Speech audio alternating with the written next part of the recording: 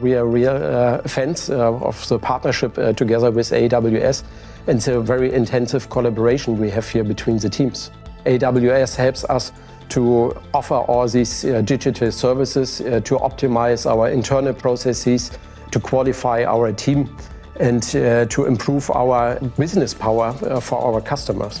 MAN uses several GenAI services. Um, you know, for instance, this is Amazon Bedrock, Amazon SageMaker, and Amazon uh, QuickSight. They also utilizing ProServe for the project in terms of you know uh, setting up the governance, uh, setting up the project, uh, structuring uh, um, the developments, uh, but also generating you know insights and consulting them on the services. Working with AWS really creates a lot of uh, business value for our company and for our customers. We are able to uh, provide a complete ecosystem for our customers with digital services like uh, fleet monitoring.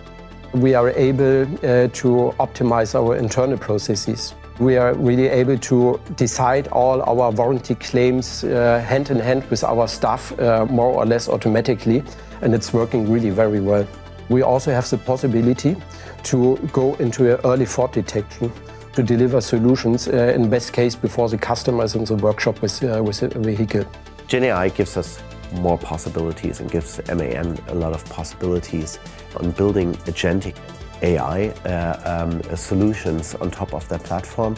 When I look into the future and see the possibilities we have with AWS and these new technologies, it will be a real game changer, and we are really very happy that we're using this powerful technology, infrastructure, and services uh, to be uh, ready for the future.